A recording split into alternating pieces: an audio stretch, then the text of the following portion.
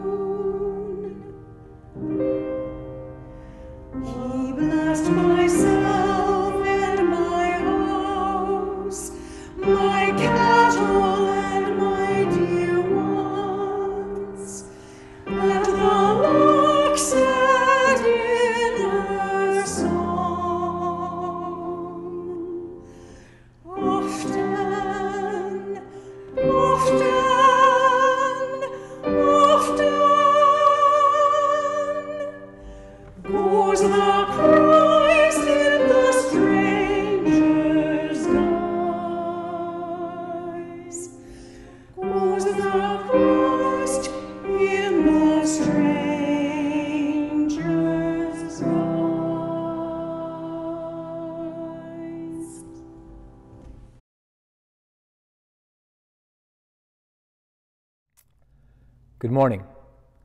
The grace of our Lord Jesus Christ, the love of God, and the fellowship of the Holy Spirit be with you all. and also with you. Welcome to our service of worship this morning. This is the fourth Sunday of Easter, so it also happens to be Good Shepherd Sunday.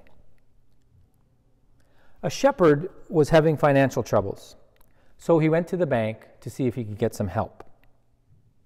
The bank manager said, I see here that you're already behind in your loan payments, and yet you want to borrow more money?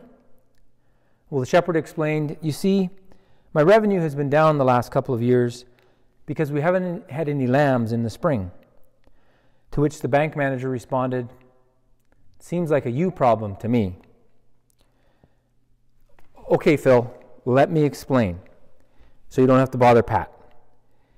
It's a you problem, E W E, not U Y O U. You see, the lambs come from the ewes. You get it? Oh, never mind. This could take all day. I'll send you an email. Okay, carrying on. Yes, it's Good Shepherd Sunday, so you'll see and hear lots of reference to sheep and shepherds, including this picture that Thomas gave me a few years ago. I call it Thomas's Happy Sheep. Every good shepherd wants to have happy sheep. Now, before we begin our worship service, I want to draw your attention to a couple of matters. First, today is the day of our annual general meeting. It's at 12:30 p.m. this afternoon, and you should have received a Zoom invitation as well as the supporting materials in an email earlier this week. I encourage everyone to attend if you are able, as it is important that we have good attendance. Now, second, there will be a service of celebration and remembrance for Muriel Esri this evening at 6 p.m. This is a live service, but it is also being recorded for viewing later. Uh, emails were sent out with the details, but I will put them up on a slide at the end of the service in case you didn't get them. And now, let us hold silence as the Christ candle is lit.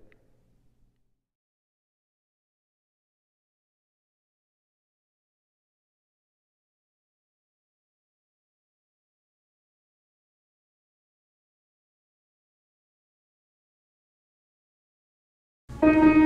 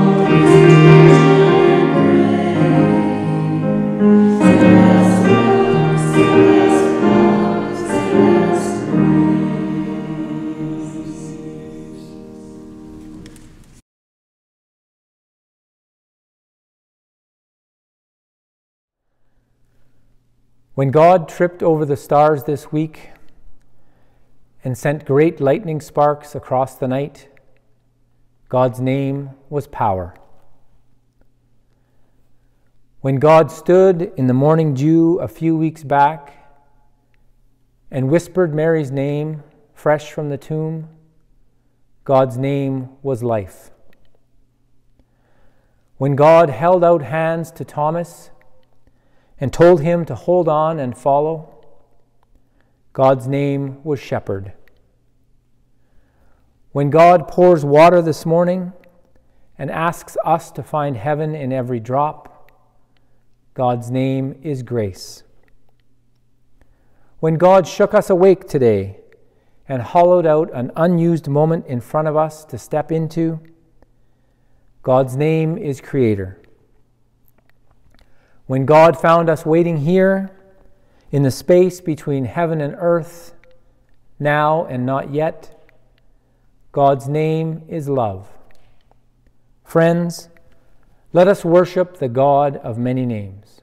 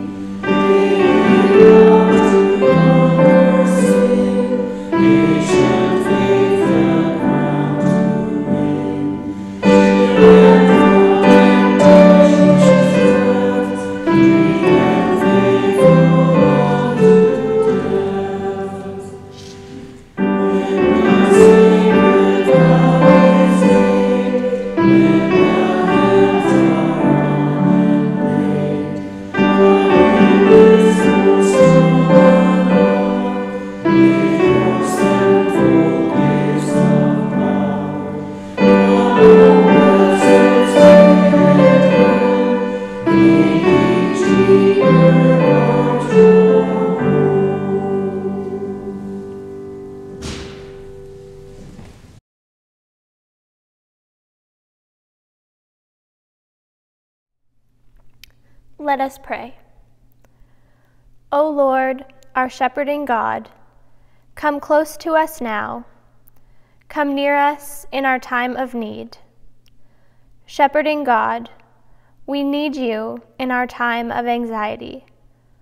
We need you in our time of economic uncertainty. We need you in a time of a globe trotting disease. We need you to bind our wounds and pour your healing ointment on our heads. We need the briars and brambles and burrs pulled out of our fleece and skin. Shepherding God, you guide us with your voice. Help us to listen and follow no matter where your voice leads. Help us to trust you. Shepherding God, protect us from the hired hands that do not really care for us and have neglected or abused us in the past. Shepherding God, thank you for your Son, who laid down his life for those who follow him, and for those who are not in the fold yet. Lord, we pray for those who don't know the shepherd, whose life circumstances kept them from knowing the Good Shepherd. We pray that by our actions, our behavior, and reaching out into the community, they may come to know you. Shepherding God, renew us, guide us with your love, and renew us with your peace. Amen.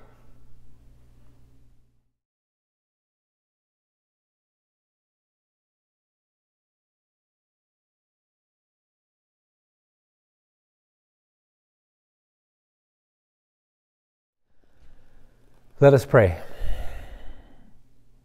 Dear and loving God, As we prepare to hear your word read today,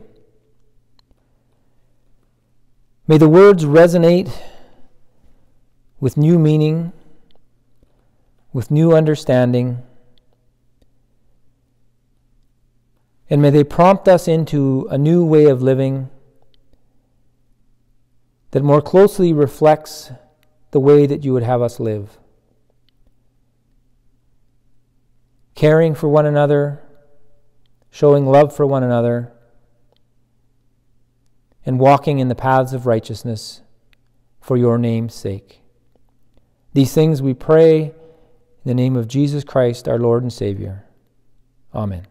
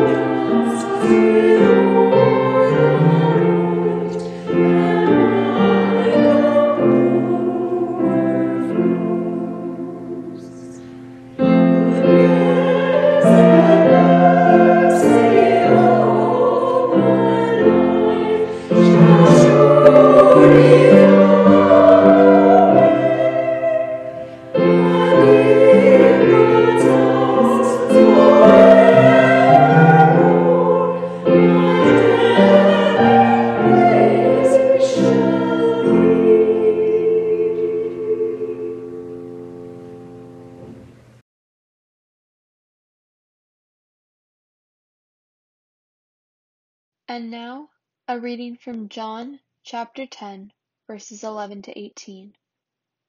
I am the Good Shepherd. The Good Shepherd lays down his life for the sheep. The hired hand is not the shepherd and does not own the sheep. So when he sees the wolf coming, he abandons the sheep and runs away. Then the wolf attacks the flock and scatters it. The man runs away because he is a hired hand and cares nothing for the sheep. I am the Good Shepherd. I know my sheep, and my sheep know me, just as the Father knows me, and I know the Father, and I lay down my life for the sheep. I have other sheep that are not of this sheep pen. I must bring them also. They too will listen to my voice, and there shall be one flock and one shepherd. The reason my Father loves me is that I lay down my life, only to take it up again. No one takes it from me, but I lay it down of my own accord. I have authority to lay it down and authority to take it up again. This command I received from my Father.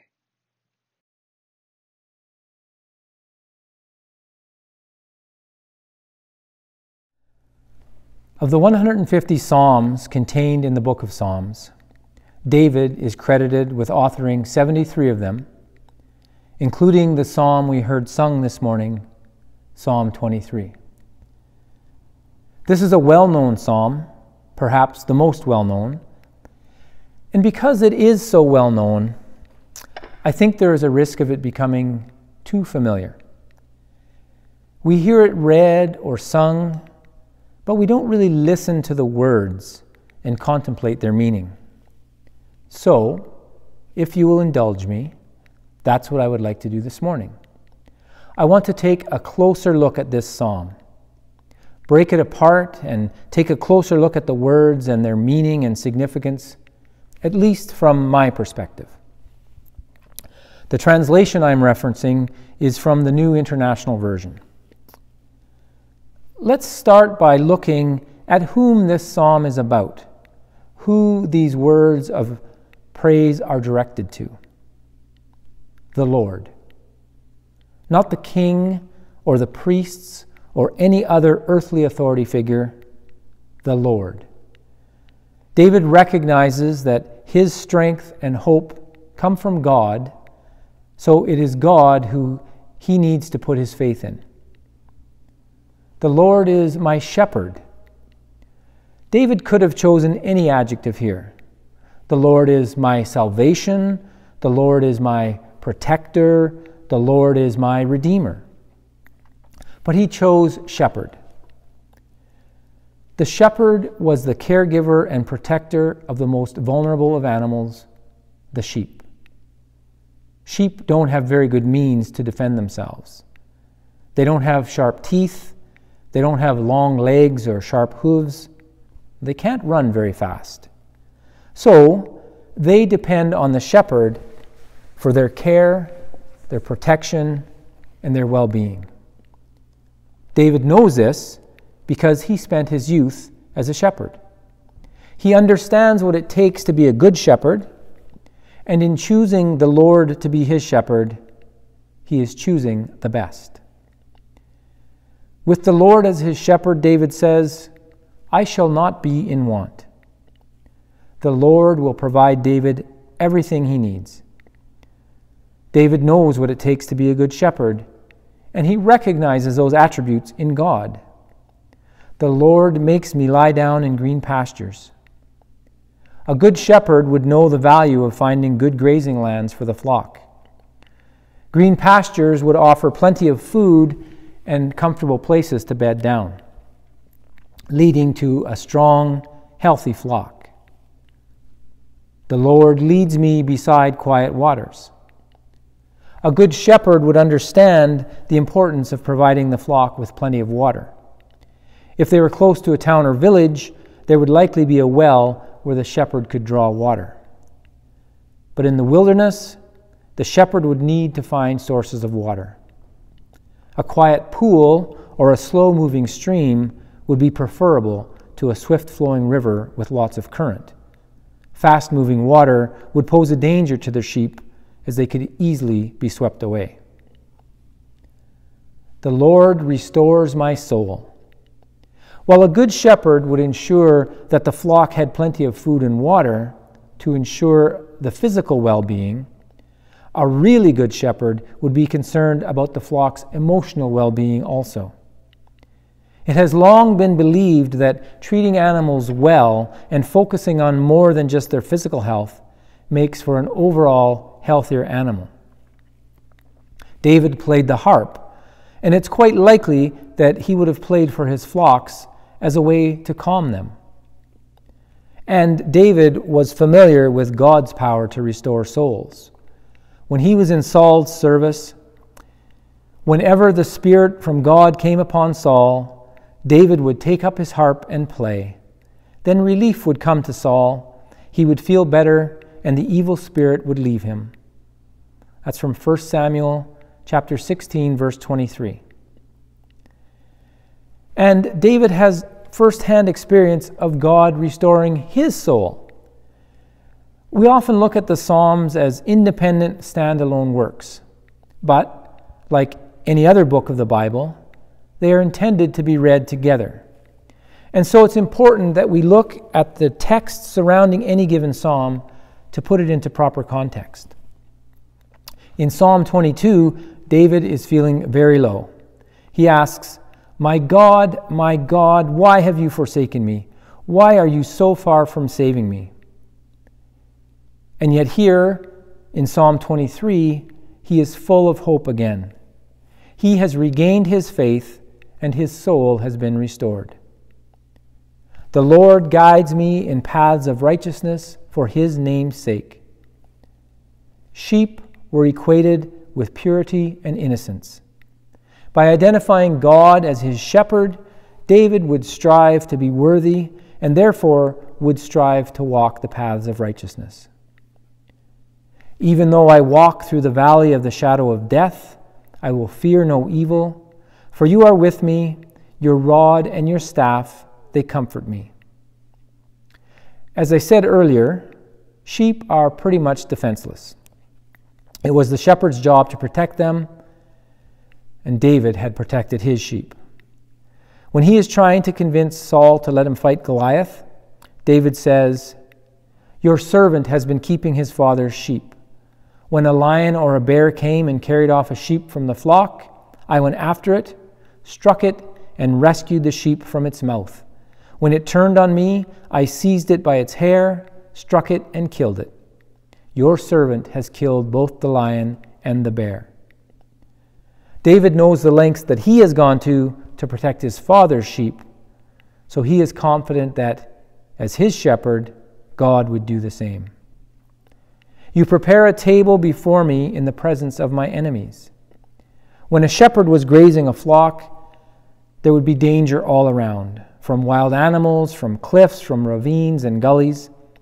But the shepherd was on the lookout for these perils, so, so the sheep could graze contentedly, unaware of the dangers surrounding them. David believes that God will protect him in the same way. You anoint my head with oil. Some shepherds will put a blotch of dye on their sheep so they can distinguish them from another shepherd's sheep. It is a way of marking them as their own.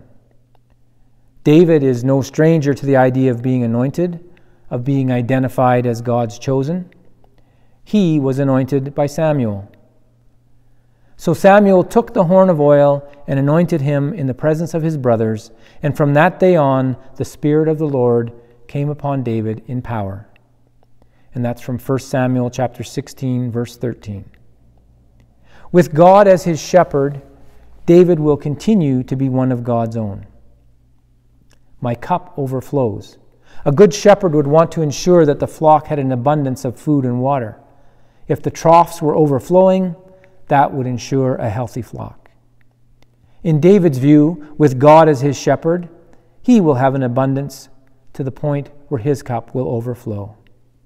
Surely goodness and mercy will follow me all the days of my life.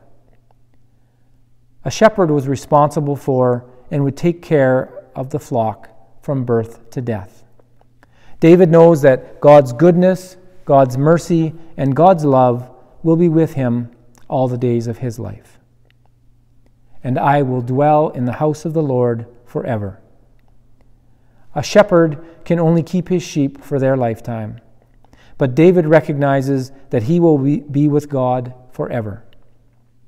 So, David, having been a shepherd and knowing what it takes to be a good shepherd, has identified those attributes in God and so has identified with God as his shepherd.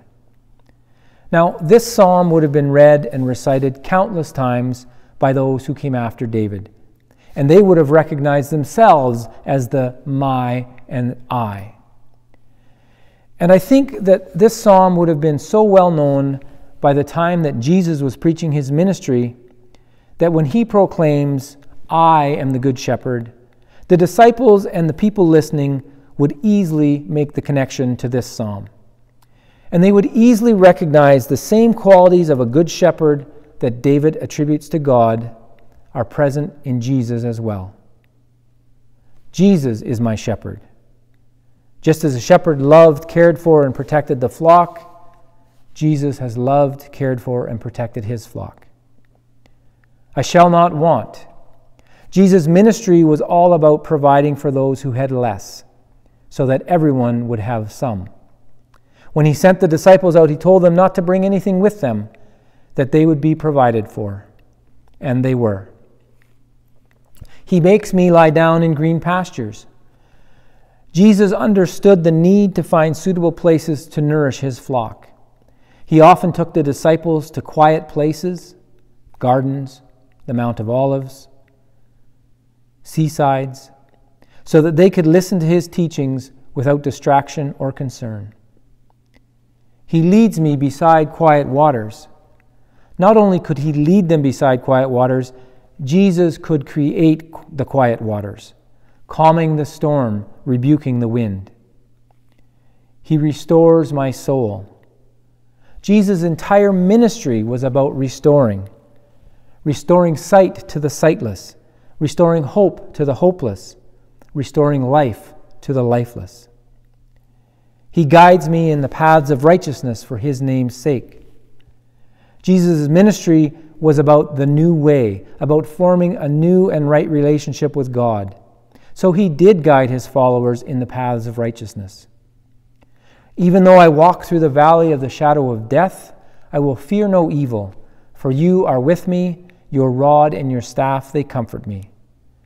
Jesus has told his disciples that, we, that they will be per- persecuted because of him.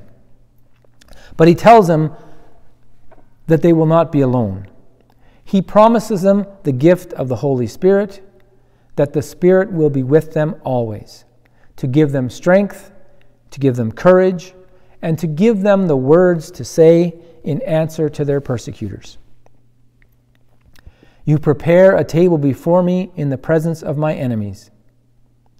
Jesus welcomed everyone to his table, even those who the disciples viewed as enemies, tax collectors and the like.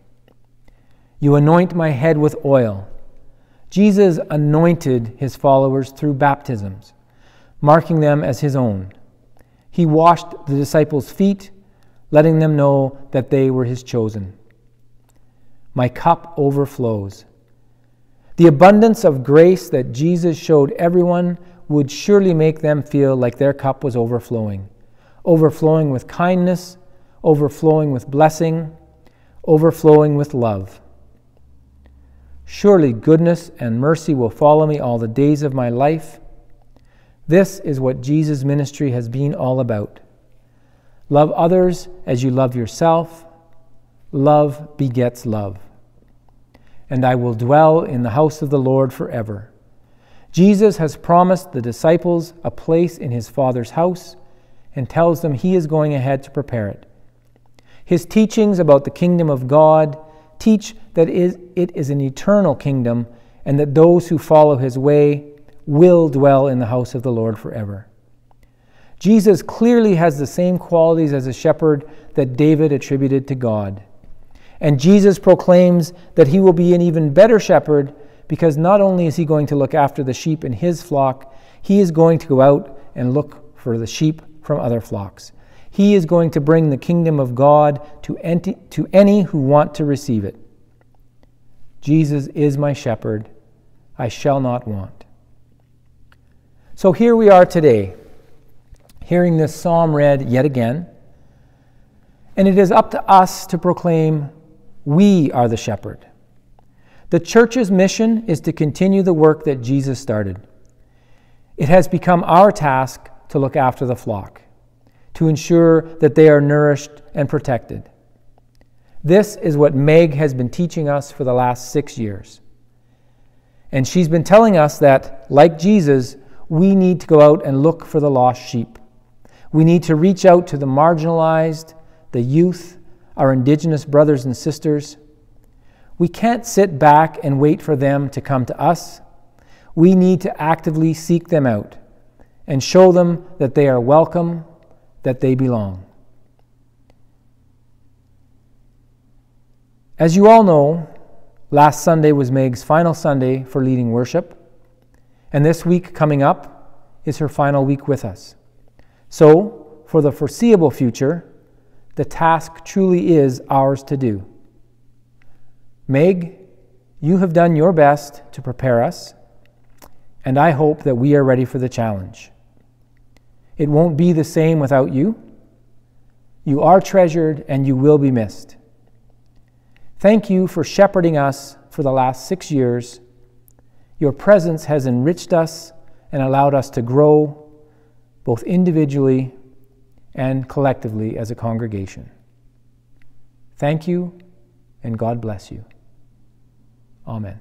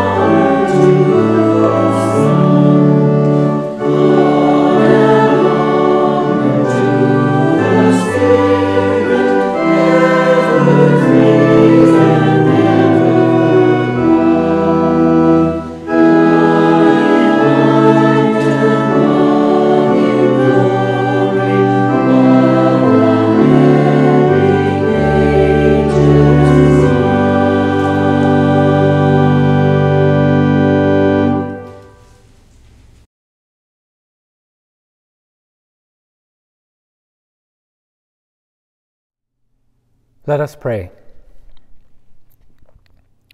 The Lord is my shepherd, I shall want for nothing.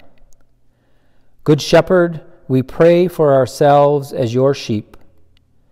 We pray for the church, for our lo- local churches here in Kenora, and for your church around the world. May your people be given wise shepherding by their ministers and leaders.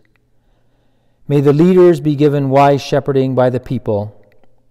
And may all of us look for our leading and guidance to you, asking that you lead us not in the easy way, but in the way that is right and good.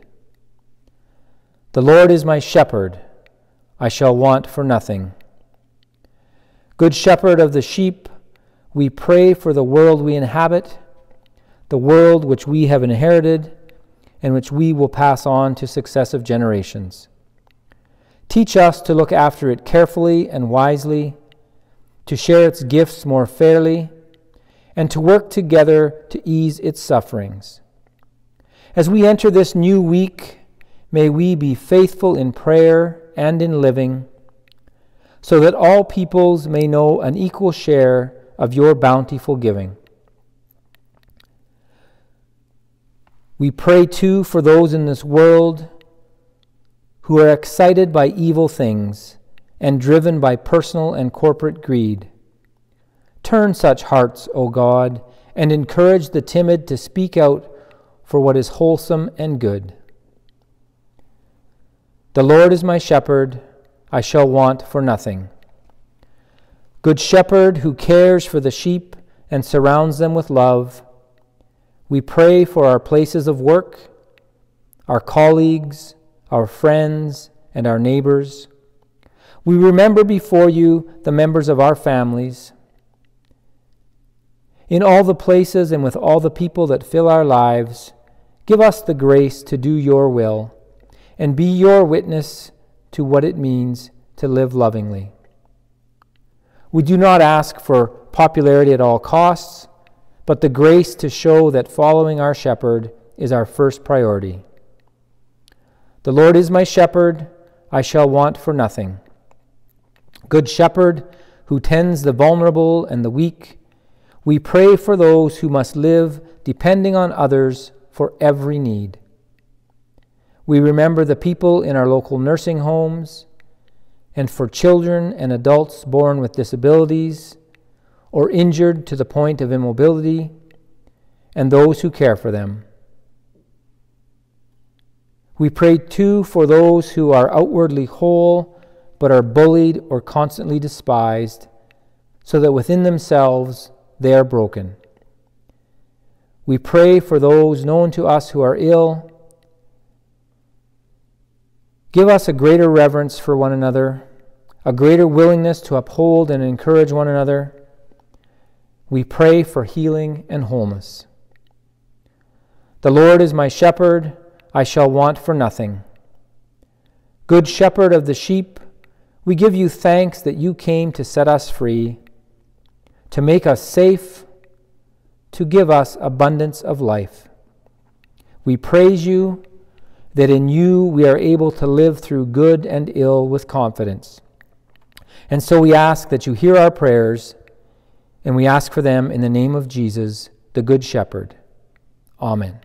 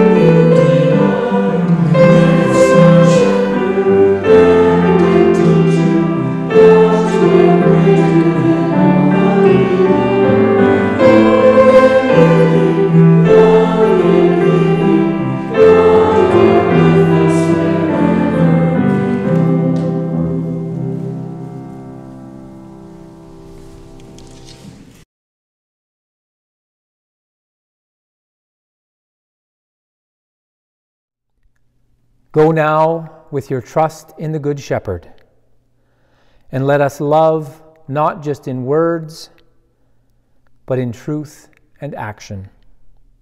Believe in the name of Jesus Christ and love one another just as he commanded us. And may God be at your side even in the valleys of death. May Christ Jesus be the cornerstone of your life and may the Holy Spirit abide in you and tend you with love and mercy all the days of your life. We go in peace to love and serve the Lord. In the name of Christ, Amen.